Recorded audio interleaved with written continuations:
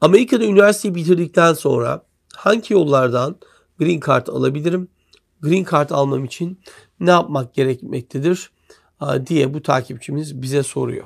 Şimdi eğer bu değerli öğrencimiz gibi arkadaşlar Amerika'da eğitim için geldiklerinde eğitimlerini tamamladıktan sonra, üniversite eğitimlerini bitirdikten sonra en ideal e, Green Card'a gidecekleri nokta şirketler üzerinden onlar için yapılacak başvurular olacaktır. Dolayısıyla şirketler üzerinden kendilerine yapılan başvurular üzerinden yeşil karta geçiş yapmaları mümkün hale gelecektir.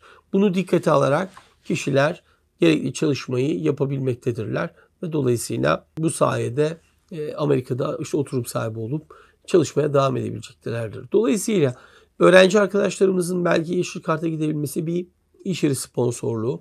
İkincisi de belki kendilerinin çok ciddi çalışmalar olursa, test çalışmaları, buluşlar, işte topluma katkı sağlayacak çalışmalar bunların üzerinden de kendilerine yeşil kart hakkına başvuru hakkına sahip olma durumları doğabilir. Yoksa hani genel olarak sizin için yapılabilecek şey iş yeri üzerinden, sponsorluk üzerinden yeşil karta geçiş olacaktır deyip takipçimizin sorusunu cevaplamış olalım.